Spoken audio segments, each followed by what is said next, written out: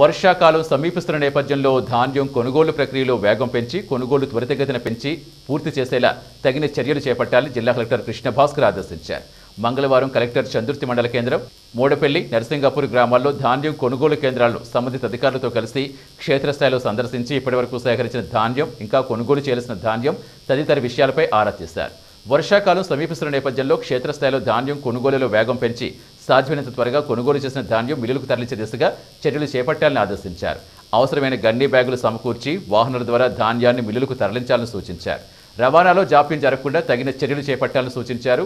అవసరమైతే వివిధ ప్రభుత్వ శాఖల సమన్వయంతో ధాన్యం తరలింపు వేగంగా జరిగేందుకు ప్రైవేట్ వాహనాలకు స్వాధీనం చేసుకుని ధాన్యం తరలించాలని తెలిపారు.